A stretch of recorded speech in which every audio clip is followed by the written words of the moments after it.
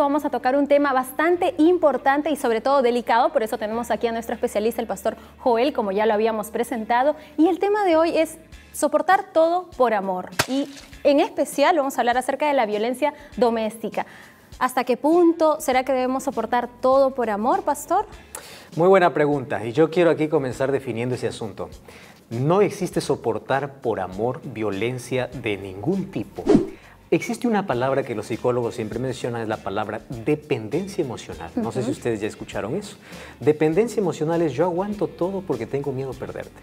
Y esa es la situación de parejas, de matrimonios incluso, donde han entregado toda su individualidad, han entregado su dominio, su control a la otra persona. Y la otra persona dice, yo puedo hacer todo lo que quiero porque realmente yo sé que tú sin mí no puedes hacer nada.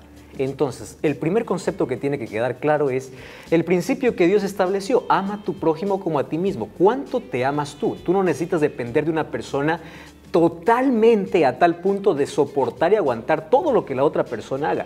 Si tú estás sufriendo de este problema, tú necesitas ayuda profesional y ayuda espiritual. Y allí vamos al tema porque muchas personas justifican ese asunto. Exacto, y justo hablando de eso, de la dependencia, hay muchas personas que aconsejan cuando una persona está sufriendo violencia doméstica, ya sea en el noviazgo, ya sea cuando ya se casó, que la persona denuncie o deje a este agresor. Pero ¿por qué muchas mujeres no lo hacen, se quedan calladas. Porque la violencia tiene un círculo.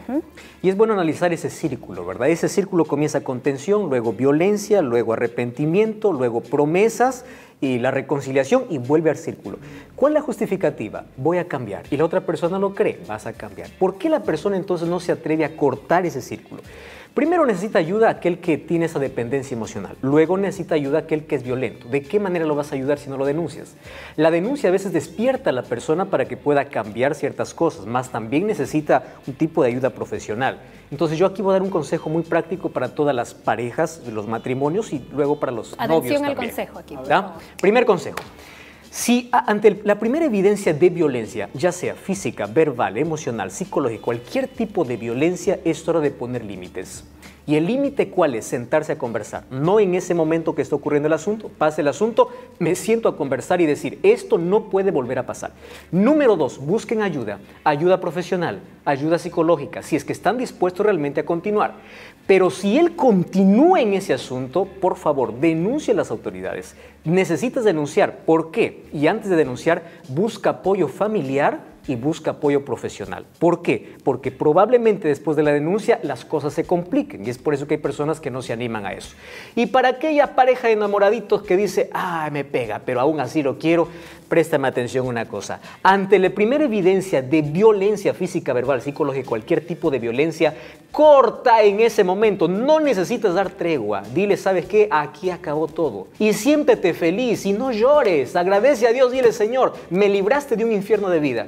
Pregunta a las personas que hoy sufren violencia cuánto quisieran volver el- a- al pasado, al tiempo, para decir, no me conviene este hombre, no me conviene esta mujer, para poder cortar ese problema. ¿Por qué surgen los violentos? Varias razones hay. Ellos están repitiendo un padrón de familia, ellos se vieron muy humillados en la niñez, ahora humillan a todo el mundo, pero es un sinónimo de debilidad de carácter. Una persona grita, es violenta porque por dentro tiene miedo y también necesita ayuda. Y ahí hay un texto bíblico que hay muchos que malinterpretan. Sí, eso yo le iba a preguntar justamente porque en Corintios 13, 7 habla, la Biblia es, eh, da un poco, eh, no sé si la apertura para malinterpretarse o o usted nos va a decir que dice, Sí. todo lo soporta, usted lo tiene ahí el versículo, ¿no? 13.4 dice el amor es sufrido, entonces dice yo voy a sufrir por amor. El otro dice, el versículo 7, todo lo sufre, todo lo cree, todo lo espera, todo lo soporta. Tenemos que nosotros ir al idioma original para poder entender qué significa esa palabra sufrir. No significa que yo voy a sufrir todo lo que otra persona me causa. Allí la palabra griega es prokotsumeo, que viene de la palabra prokotsumos, que significa es aquel que tiene tanta paciencia y es lento para ofenderse.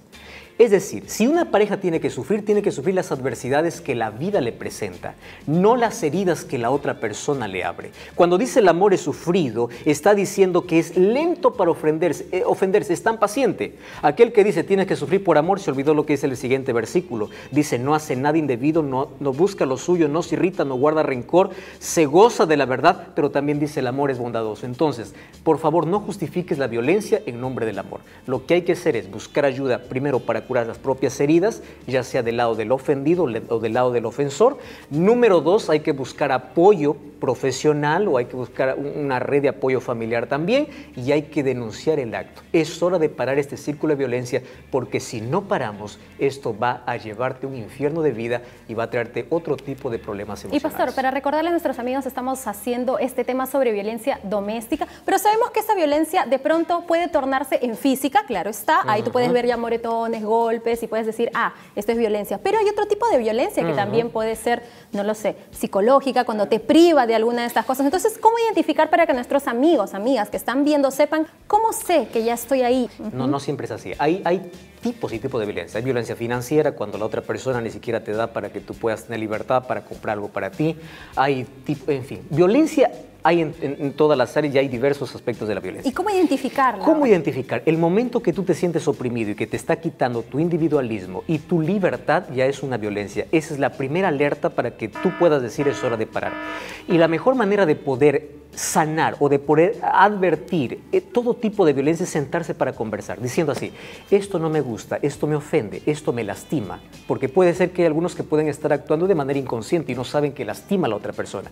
El diálogo y la comunicación es importante para poder evitar cualquier tipo de violencia. Por eso, ante el primer indicio de violencia, tienes que sentarte y conversar. Si eso te lastima, si eso te hiere, lleguen a un acuerdo y busquen ayuda, por favor porque no podemos tolerar ningún tipo de violencia. No quiero decir que no surgen los problemas, pero los problemas tienen que solucionarse en paz. Toda pareja tiene problemas, más el tipo de problemas o, los problemas tienen que solucionarse en armonía, en diálogo, en conversación. Y si hay por allí palabras hirientes, algún tipo de violencia, controlen eso, paren eso. No podemos permitir que esto pueda continuar. Muchos malinterpretan, pastor, este versículo y si esto es realmente peligroso, si nuestra vida corre peligro.